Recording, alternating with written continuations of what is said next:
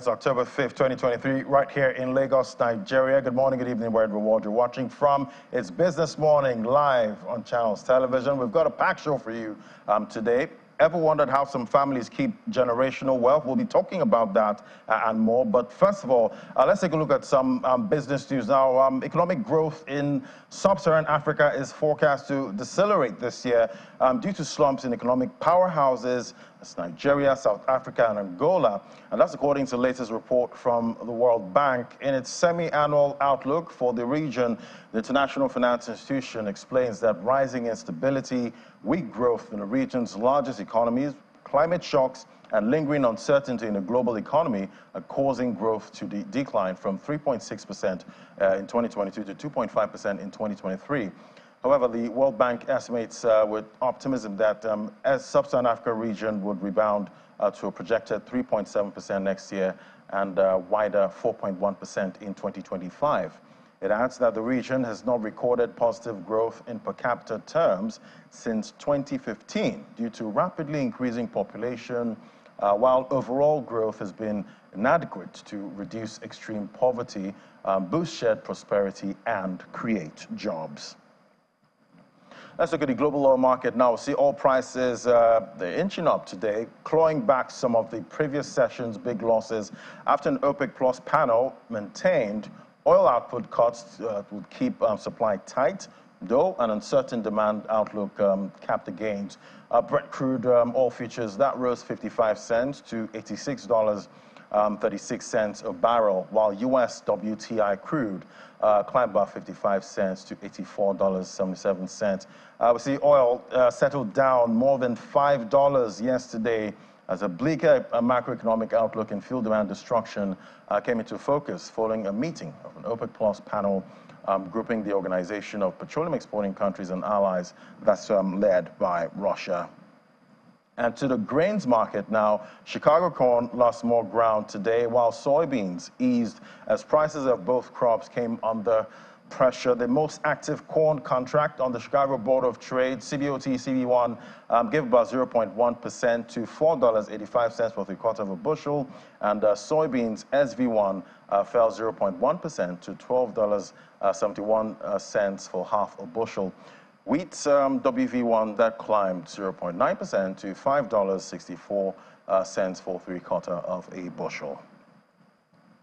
And to some company news now, Zest Universe, a subsidiary of Stanbic IBTC Holdings PLC, is offering uh, customizable e-commerce stores at no charge to its customers. According to the chief executive of Zest, Mr. Stanley Jacob, who was speaking at the unveiling of the payment platform in Victoria Island, Lagos. Mr. Jacob gave the assurance that the multi-rail platform will be, will be able to collect payment in any form that the customer desires. Take a listen. Zest Universe 1.0 comes alive with the unveiling of its new payment platform that will connect consumers and business owners, which will enable multiple options for payment and other value-added services.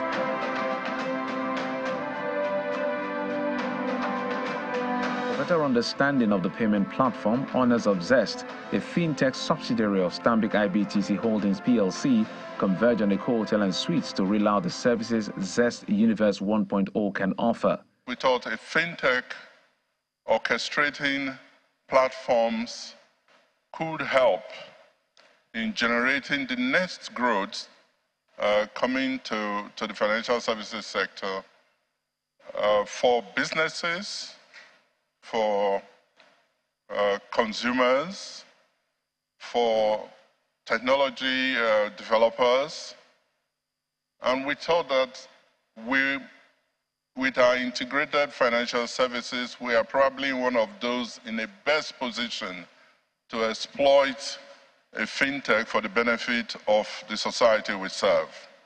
The e-commerce platform is an all-in-one gateway, cards, QR codes, and account-based payments that enables over 40 country currencies. Zest is focused on delivering a true platform orchestration strategy. There is one thing to be a modular producer within an ecosystem. There is another thing for you to be an orchestrator of a platform. That platform will enable multiple payment options in the hands of our esteemed customers.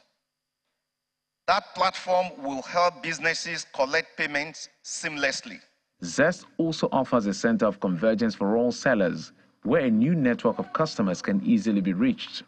We have built a seamless experience for businesses at every stage of their engagement. From the point of onboarding, we ensure that within just three minutes, you are onboarded on our platforms as a business. The company says this marks the beginning of an incredible journey which should see it attaining market leadership, driving innovation, and setting new standards for payment.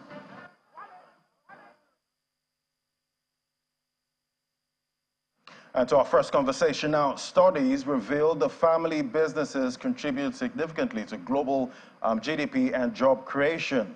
We see leading wealth man management uh, company Meristem Securities Limited has launched its family office, a subsidiary called Meristem Family Office.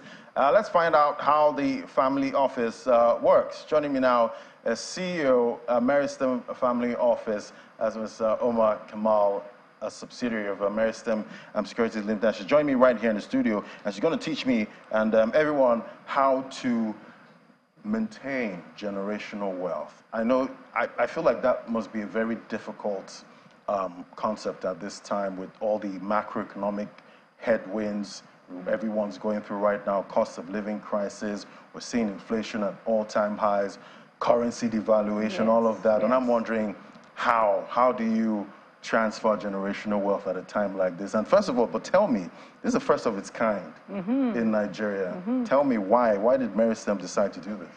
So thank you so much, Ladi, for having me here. It's such a pleasure, I tell you. Um, Meristem uh, uh, has been working on the concept for two years now. And um, if you know Meristem, uh, a bit the history of it. We've been in uh, operation for over two decades.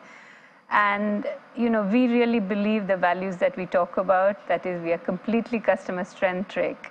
And our whole emphasis is on actually growing with the customer. So if you look at the history of Meristem, it started with, you know, stockbroking, then we added, you know, wealth, we added registrar, we added trust. So we are looking at different paths of creating wealth that was our history. So two years ago, um, actually, I was talking to uh, the MD, Wale Abegunde. Uh, you know, he's such a visionary. You know, actually, I was I was there to help uh, the senior staff, the client-facing staff, talk to their business people, but about the family. And we said, actually, the the the thing that really is missing at Meristem is the bit that will help all this wealth created has to be then passed on smoothly. So we came up with the idea of having a family office service that's a multi, multi-family office. So it, it shares it amongst uh, the wealthy family. So if, if you're not Mr. Dangote and you, you can't to have, uh, afford to have your own, you know, you, you, you come to us. But the purpose of it, and we complement the services of rest of Meristem, it's the first in the country um, and we are the first in the country to have the family office services. But we really believe that that is what is missing in, in terms of actually helping uh, Nigerians actually preserve their wealth and then to be able to pass it on, but pass it on smoothly to the next generation.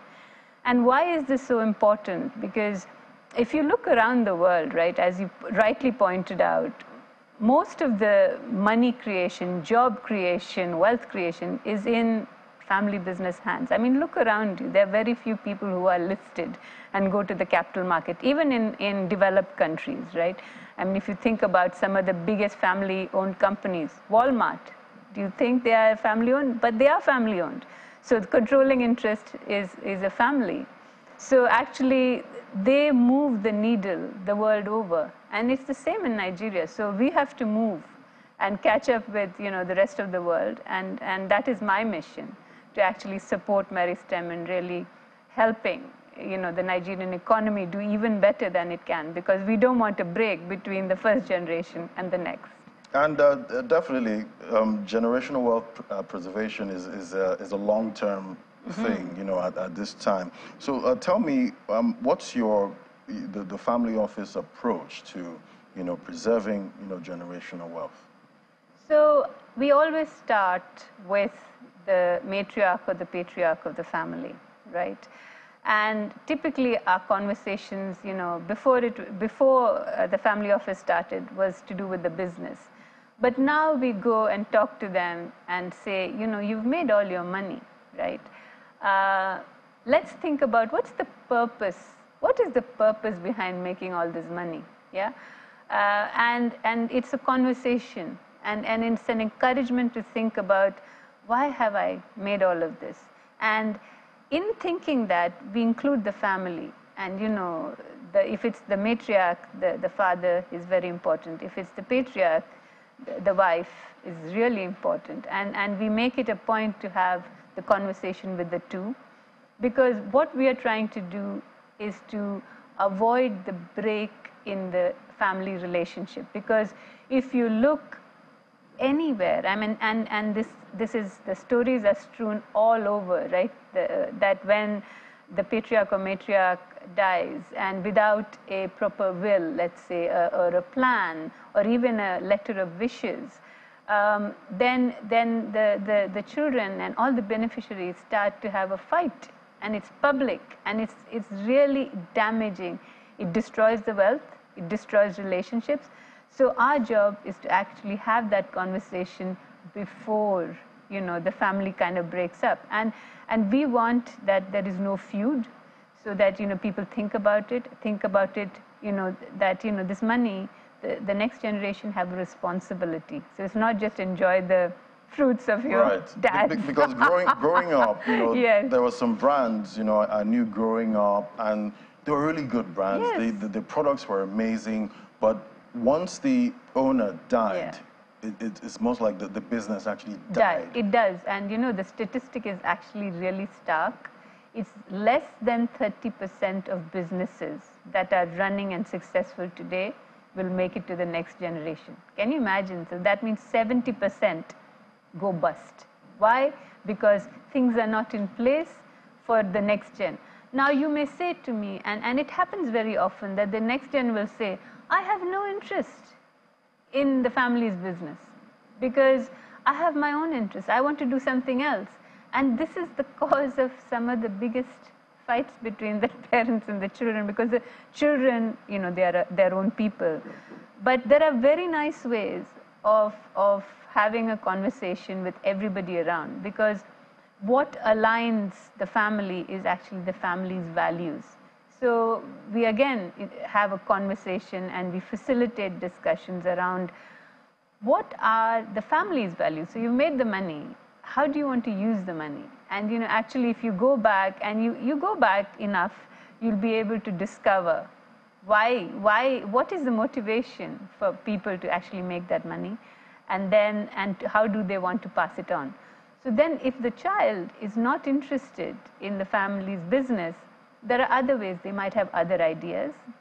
So what you could do is to you know, extract value from the existing business, but create a pot uh, that you then use to for the next generation, and also for good causes that you want. Again, your values in terms of how do you want to give back, and everybody you know likes to give back in some way or the other. But rather than buy that truck and give it three times because it gets lost every year, you think about a program of giving and you think, and again, we are set up to support foundations. So we want to help next gen, but we also want to help the family leave a legacy. Right. So, yeah. Talk, talk to me now about, you know, um, which generation is at more risk of failing, you know, when it comes to transfer of wealth? Mm-hmm. I, I don't think, um, I don't think, you know, so the, the youngsters, the next gen, all the ones I work with, they, are, they all have their heads screwed on really straight. Um, and their experiences are very different from their parents. Of course, the parents have sent them wherever they are to go and study, right? And so, of course, they are influenced by other things. But at the heart of it, if you have the right conversation, and I keep coming back to this, to have the right conversation with them, they understand and, and, and they, might, they will support and in their way they will contribute. So I don't think that there is a failure in the next generation at all. In right. fact, you look around, some of the best ideas, new ideas, they're bringing it, you know, the technology, the AI, the in pharmaceuticals, chemicals. I mean, take any sector and you'll find the next gen are there. And, and they want to make a mark too. And it, in fact, sometimes having a lot of wealth is a bit of a curse because you don't have your own motivation to get up in the morning to do something. You know, if, if the, the, the bank of mom and dad is giving you every day, it's difficult. But then that's right. when you have the conversation about your responsibility. And so I think it's, it behoves the, the parent to actually, you know, include and in, you know, encourage the youngsters. Right. And also, there are ways that you prepare the next gen uh, for their responsibility. And I want to take a little time because uh, it's really important. So yes, they get education and they're educated abroad, but they need to have experience either in your own sector, whatever sector you want, or in another sector, but just in a business setting. And, and long enough to be able to see what is good, what is not good, uh, look at the world, you know, do different things. Right. But also there are courses, and we are partnering with a few people, you know, um, courses at places like INSEAD or like Columbia in, in, in New York and in Singapore. So, you know, they can go to, you know, courses, you know, short courses that will help them, you know, align a bit more, you know, to take on responsibilities. Right. But also give a network of other next gens. So, you know, you go to these courses, you meet other next gen because you learn a lot from other people in the same situation. So we find that's been really useful as well. Quite, and I definitely have heard it, it's hard, you know, making money, but even harder, you know, keeping it. Talk to me about um, um, how you tailor your services, you know, to meet the unique needs of your Yes. clients. You know, Meristem prides itself in really being completely customer centric. And, you know, a lot of places I've been at, you know, will say something about their mission and vision. You know, for us, Meristem, we say when our customer smiles is when we smile. So, you know, that is the, that's the only thing that drives. And we all have, you know, we may say targets, but that's it. Our, our customers' well-being is, is our target. So we really focus on that. So how do we in, in family office translate that? How we do it is by actually we start with actually preparing dossiers for each of the families that we talk to. And by dossiers, I mean it's not a secret dossier, but it's more about getting, you know, what, what the public sentiment is, what the holdings are in a public way, uh, where do they get involved with, what are the families involved in, what are the sort of things that, so we build a picture. Before we meet somebody, we have built a picture, even though they may be clients of ours, but we know them as, you know, one part of it. Let's say they are stockbroking clients or they are wealth management clients, or they are already clients of our registrar and, uh, and trustees. So we build a profile first. So we understand. We understand, okay, who are the people who they work with. Then we talk to the relationship managers who are already dealing with them to get a feel for the person. Then when we go to the meeting, we put all that aside and we, we have that discussion. So it's a matter of building trust with that person and uh, hopefully the wife or husband is there and we sometimes encourage them to have their children as well. But really to understand the motivation of that person. You know, why is it that they are spending that time with us? So what is important to you? So that's how we build up a picture. We tailor our services. And, and by that I mean we really have to understand, which is why this is not for, you know, we are not opening it for hundreds of clients. My target, if I get five clients that I can understand and serve, I am very happy. And we are very happy. Fantastic. Yes. And, and talking about, you know, families you serve, what, what should a family look out for before, you know, considering, uh, you know, a, a, a management company to manage that wealth and preserve it for them? What do they look out for? Well, they should look at someone where they think that uh, they will be best, their interests, not just the business interests, their family's interests will be best served. So what do I mean by that? It is that the brand is trustworthy, right? So I would say we are a very trustworthy brand uh, and, and having established ourselves as long as we have. And then we have in the umbrella of Meristem, some of the best companies that you, can help you. So we have wealth management, we have registrars and probate, we have trust services, we have stockbroking. all of these services which can help you manage the money. And let's say you don't have some of the things that you need, like tax advice, for example. We are partnering with the best in the business, both here and globally. So the global one is going to be rolled out by next year, but we already have our sights on where we are going with that.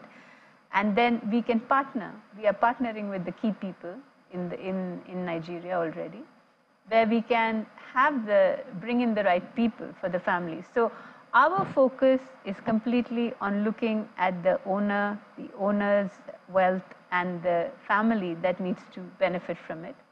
And then we put in place, so what does the family office do? We will put in place the governance that the family needs to be able to manage, you know, navigate through this. And we will support the process, and that's our job. And we will make sure that the right uh, partners are brought in or the others from Meristem are brought in. So it's our job to make the transition smooth within the firm or with other partners. Right. And then to help the discussion between the, between the members of the family and support the conversation. So that's why how we do it. We tailor it. Fantastic. But, but, but before I let you go now, just you know, talk to me in a few you know seconds.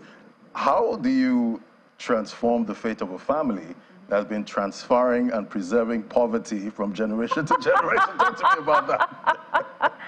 well, eh, you know, I would interpret it as a poverty of values. So you have money, but you, have, you, you don't have the values. So that's what you're transferring because really uh, it's about, if you think about it, people who have a lot of wealth and, and they've made a lot of wealth, they can also be incredibly poor. Right. Uh, because they haven't thought about uh, their, their, values and, and they, they stray a bit, you know. So, and that's where the problem occurs. So I think our job is to remind them to go back. And so I interpret your words as right. being the poverty of thought and action, which actually, at the end of the day, is probably more important than the real money. Fantastic. so you don't go around preserving poverty. Thank you so much. You're it was welcome. great having you for this uh, conversation. Umar Kimal, anytime. CEO, Meristem Family Office. Thank, Thank you, so, so much, much uh, for Thank having you. me.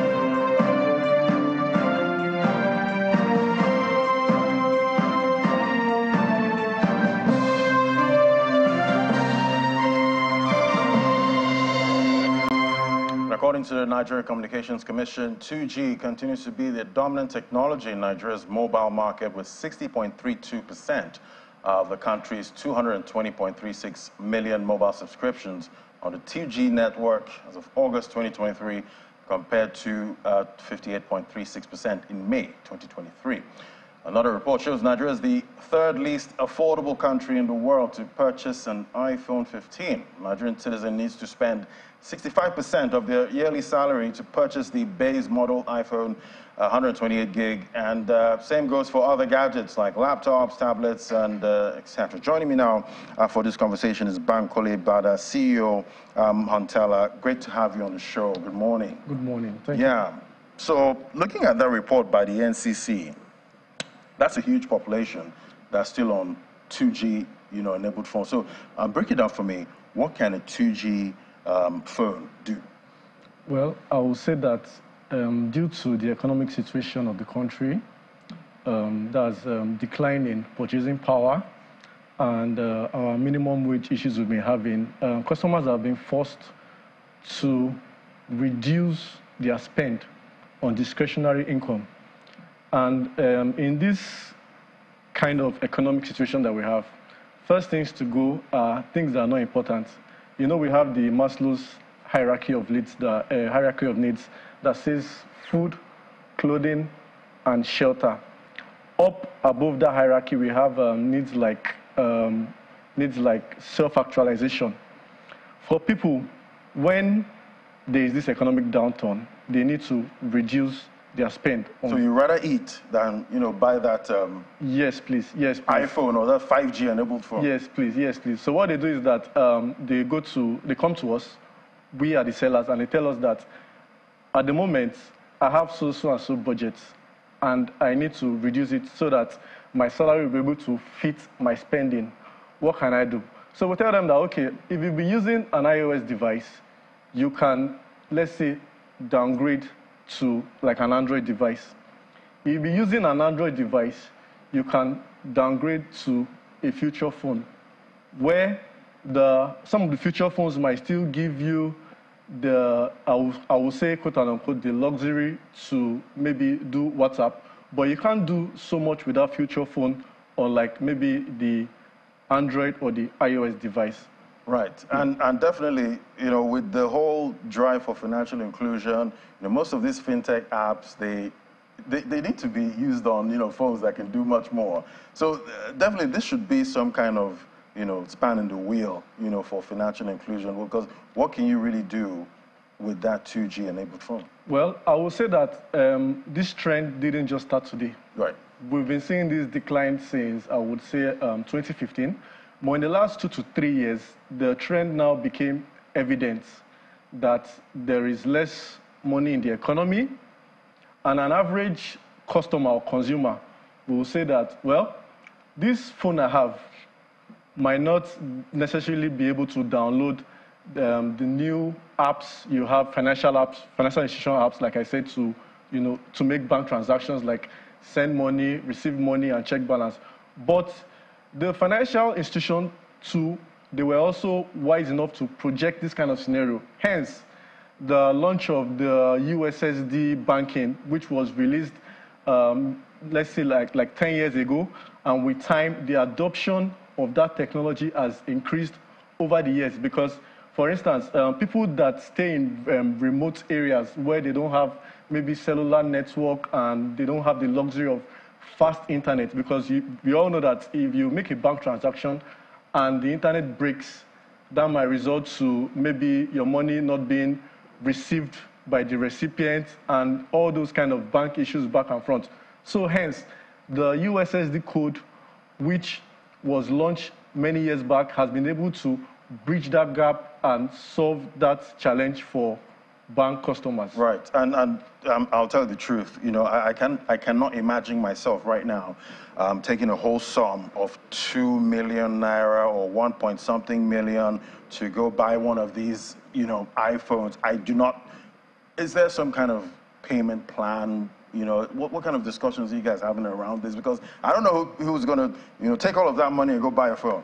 Uh, well, uh, yeah, I, I, can say that um, uh, a few weeks ago, another iPhone was released to the market. And the base model of that phone cost about $800. $800. If we use the benchmark of a thousand naira to a dollar, um, when you purchase that phone in the US, you pay tax.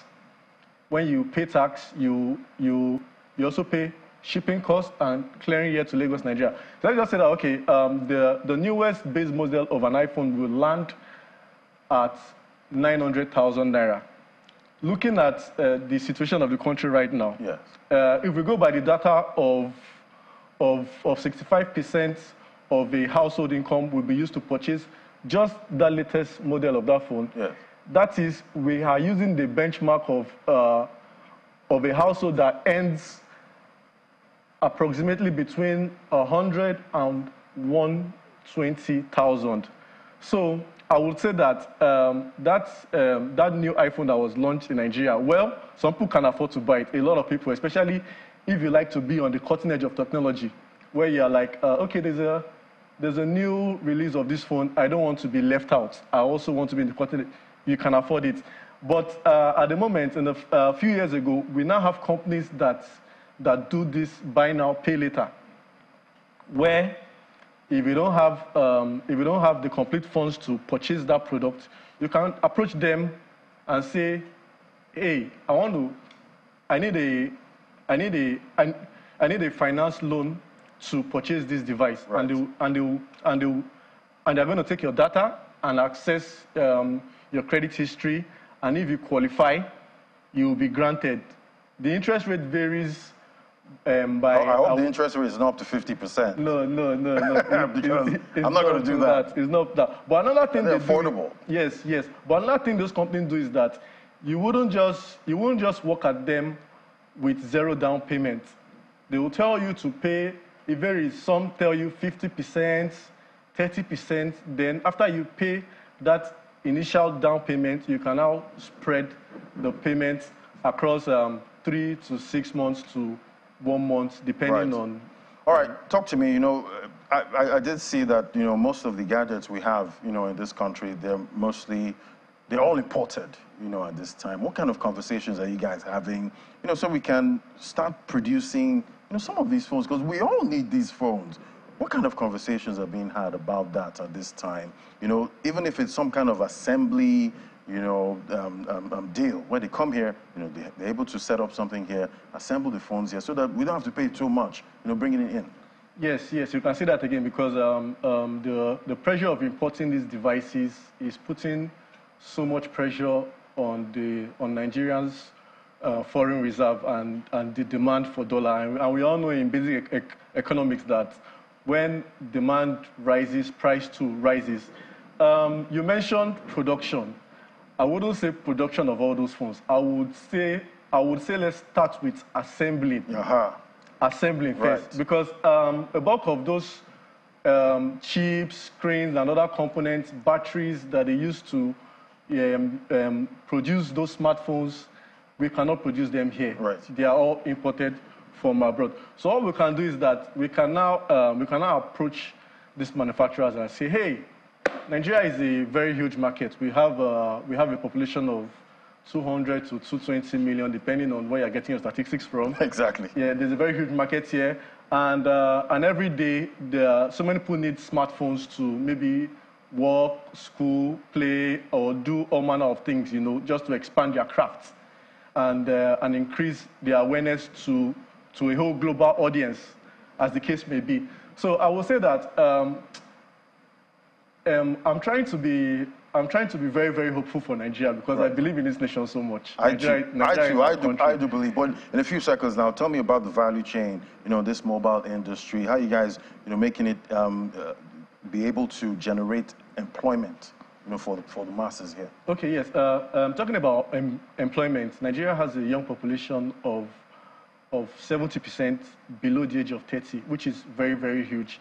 And uh, a couple of months ago, we used to be the highest, we used to have the highest unemployment numbers in Nigeria, but the National Bureau of Statistics had to change our parameters and said, oh, we are no more the highest. We have now reduced the numbers, right. which is best known to them. So at Ontela, we started an initiative called the Ontela Campus Rep, where students on campus will pay 30,000 naira. That was about 10 years ago, but now we now charge 50,000 naira based on the cost of those accessories that we give to those students on campus at very, very cheap prices so that they can resell and make a margin.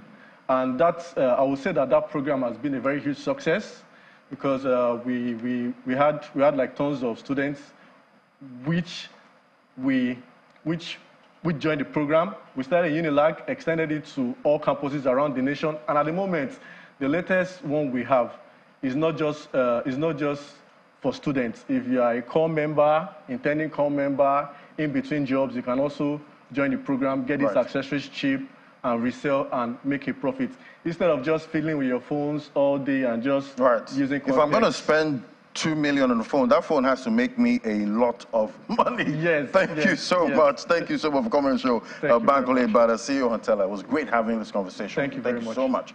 All right, we'll take a quick moment now. I have come back. Commodities market update is next.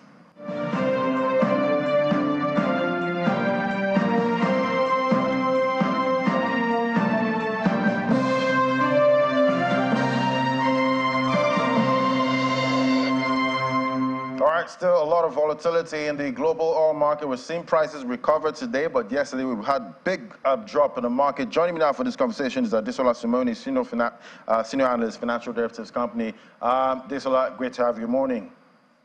Good morning, Ladi. Thank you for having me on the show. So, Desola, I'm seeing a lot happening in this oil market, and um, definitely the, the Saudi prince did say um, when uh, oil was reaching or nearing about $60 per barrel, he did say that shorters will be ouching in this market.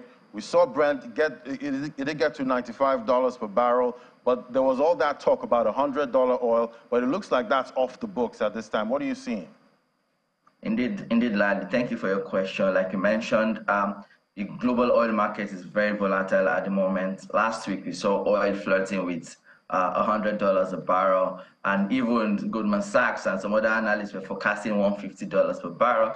And only yesterday, we saw it uh, decline quite sharply by the largest decline in a day, $5 per, barrel, $5 per barrel for, for Brent, or around 5.6%, mainly due to, you know, uh, um, expectations or concerns about demand growth. We saw weak U.S. Man, um, services data uh, um, earlier this week. We also saw, you know, um, comments from the U.S. Fed Chair Jay Powell saying that, you know, they are they are likely to keep they are likely to keep uh, interest rates higher for longer. And this, you know, created uh, concerns about economic growth globally, about uh, cost of credit, one, economic growth, and then the impact of that on uh, um, oil demand growth.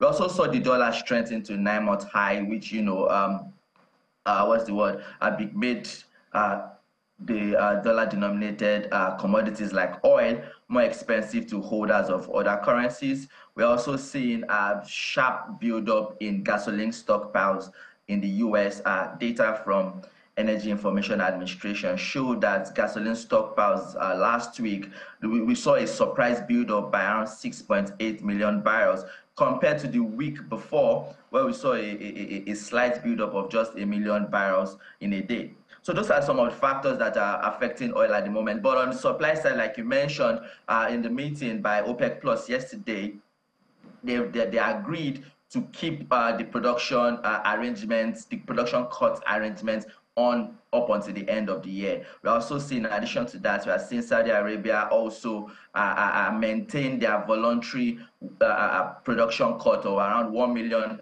uh, barrels a day, as well as Russia. So even though we know prices are still volatile, I think OPEC is trying to keep the market tight with with this their production cuts and the additional voluntary production cuts by Saudi Arabia and Russia. And I think because of, I think even though we see some volatility, we see some technical trading and some shorting, I think prices will still likely remain um, elevated uh, in the near term. Yeah, Desola, what would you say is the best uh, trading strategy now? Is it time for the shorters uh, to come and shine in this market? The thing with shorting now in the volatile market is while there's big opportunities for for rewards, you know, to make a quick buck, there's also big opportunities for, for risk. And because you know Saudi Arabia is the you know de facto leader of OPEC, they, they, they have such rooms to such room to you know um, drive the market. They could review the market again in December and say, you know what, I think we're going to increase our voluntary our voluntary uh, uh, uh, production cut by around two million barrels in a day, and that's you know you know that would further tighten uh, uh, uh, the market. All right, talk to me about the global grains market. Now we're seeing wheat prices, you know, rising, but other grains are, are kind of dropping. What's driving sentiment at this time? I'll say in economics we say something about market power, which is simply the ability of a firm to or an, or an, eh, an economic agent to affect prices. Um, in the wheat market at the moment, uh, Russia is a market is a market leader and they have significant market power. And what we are seeing is a bountiful harvest coming out of Russia, in addition to to plentiful stockpiles. And Russia also is exporting uh, big volumes, and that is kind of depressing depressing uh, uh, uh, wheat prices globally. At the same time, we are seeing attacks on uh, grain infrastructure in Ukraine. So while Ukraine is is losing um, ex- is, is, is losing exports, is not able to export um, as much as they can, Russia is pretty much flooding the market. Now, in addition to that, there are rumors that Russia is trying to impose um, a price, uh, what's the word now?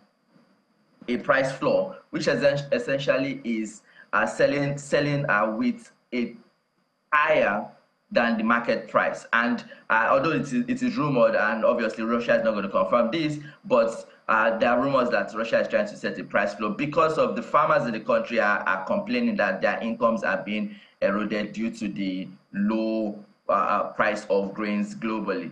But I think it is also positive in the sense that um, compared to around this time last year, prices have declined by around 50% uh, per bushel for for wheat, but also in terms of inflation uh, uh, uh, in, in developed countries as well as in developing countries is positive because wheat is such is, is a big portion, is a big component of uh, the food basket. So it is positive for the fight for inflation and the you know interest rate cycle. It is also positive for uh, food security because many developing countries uh, import uh, wheat from from Russia or from the global commodities market, and with the prices uh, nearing uh, uh, the price is 50% low compared to this time last year, I think overall it is positive.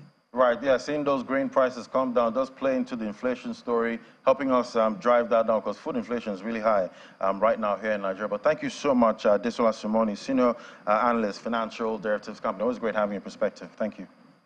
Thank you for having me. All right, let's head to the local markets now. And John McCarr has all the details. Great to have you, um, Ini. I see hi, red morning, on the board. Good morning.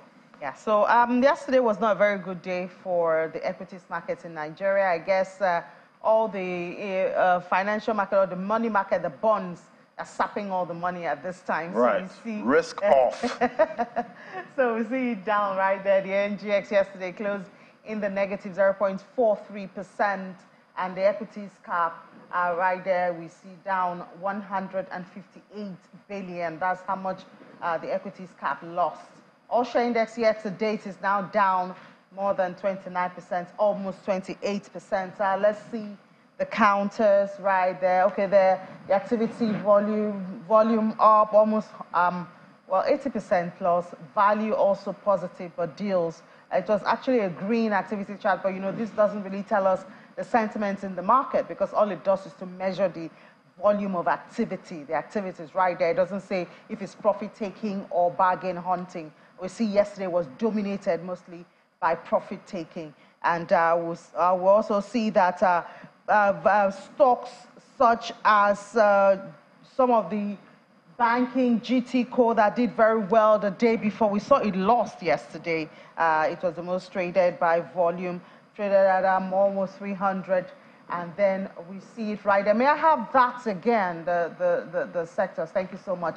And then, of course, we see consumer goods was in the positive, industrial goods was marginally down. And once again, we see oil and gas is unchanged. Uh, you know, this is really beginning to catch a lot of attention. Why a whole oil and gas sector in an oil producing country would be unchanged. Now, let's go to the next and see right there. I wonder if we have a guest on at this time. Okay, all right. I hope we can get him before, because we really need to talk about that oil and gas. Uh, so it's important to say that the most traded stock by volume yesterday was uh, Universal Insurance. You know, insurance catching at attention of, of uh, investors these days. GTCO was the most traded by value. And now looking at the sectors, we saw all of that. Market breadth yesterday, uh, 29 tickers gained, 22 losers. So it was a positive one, but the market was, however, down. Now let's look at the fixed income market. We see the federal government bonds yesterday had uh, brought in about 34.72 uh, uh, uh, billion naira. And we see the securities of interest, you know, this is now the long-term one. Bonds are doing very well internationally, UK, US. Uh, right now, we see the NGX uh, stock market suffering for that. So we see uh, that it was a long-term security. Let's see the next one after the federal government bonds. Yes, uh, the open markets are not so active yesterday, just three deals worth almost 24 billion naira. And uh, let's see the treasury bills. There you have it, 14 deals right there. So um, liquidity, of course, is still a thing right here. We had FAAC last week that, of course, prompted the market just a little bit, but not a long-term thing. And I just wonder, uh, Ladi, you know, the, the, the, the government from the budget of 2023 had said it would get most of its funding from this market. I don't think they've done that yet. Right. We, we haven't really felt that uh, much activity. Exactly. Although there was a federal government saving bonds that was opened uh, yesterday, you know, but I, I guess So I know, the, I, I guess the government right now be looking for oversubscriptions, but we're, we're not getting that, you know, at this Yeah. moment. But definitely still a lot of liquidity issues that, you know, clients and investors have to deal with at this time. But at some point, we're seeing in the global market space, bonds are looking bonds quite are good. looking really good to the detriment of stocks. Of stocks. Risk off. Thank you so much. All right, um, thank you. All right, let's take a look at what's happening um, in the UK now. We have our correspondent there, um, Juliana, joining us. Um, great to have you, Juliana. So it's all about anti-competition right there in the UK. Uh, we see the regulator been tasked with investigating Microsoft and Amazon's dominance of the cloud computing uh, market. What are you hearing about this? Good morning, Ladi. That's absolutely right. Can you believe the cloud um, service industry is actually worth um, 10 billion US dollars? And of course, it is fast evolving, and uh, there are so many players within the market. But there are concerns from Ofcom, which is the telecoms regulator in the UK, about the dominance of Microsoft and Amazon. They released a statement this morning, uh, basically quoting what you said, that they're asking the Competition and Markets Authority to look into practices of Microsoft um, and um, Amazon to see whether or not they are stifling competition. I think they uh, conducted their own in house probe for about six months, speaking to consumers, and there are concerns, namely the fact that if a consumer wants to switch to another provider, it is very difficult for them and it costs. So they've tasked the CMA uh, to look into exactly what is happening. And I think this is part of a much wider picture about how Ofcom and the Competition and Markets Authority look at big tech. We know that since uh, the COVID lockdowns, uh, big tech companies have come under scrutiny, not just from regulators here in the UK, but across um, the EU and in America too. There was a new digital services bill which was introduced at the beginning of the year, which has uh, got uh, the sign off by uh, the British government, basically to look at you know their practices and to make sure that customers get exactly what they pay for but also, and I think most importantly about this probe, is that if they do want to change their service provider, that there is an alternative. And I think there is a fear that Microsoft and Amazon are making it particularly hard to do that. So there is going to be um, an in-depth probe, and we're not expecting the conclusion from that until April next year. All right, still a developing story. We'll keep tracking that to see how uh, what the regulator, you know, does next. Thank you so much, um, Juliana. Thank you. All right, let's take a look at what's happening in other markets now. We see Bitcoin uh, found some kind of support there, $27,200. Uh, but we see the sentiment in the market uh, neutral, just like yesterday. So uh, we're still seeing um, investors looking for direction right now. It's not bullish, not bearish, just uh, somewhere right there in the middle. Let's look at the top cryptocurrencies we track now. Uh, we see Bitcoin there, $27,651, at 1.03%. And we see XRP. Yeah, XRP, that's uh, one of interest right now, 52 cents. Uh, still above that 50 cent level, 0.32%. Uh, Let's bring in uh, Gilbert, your partner now, financial market analyst. hello, Gilbert. Great to have you. Good morning.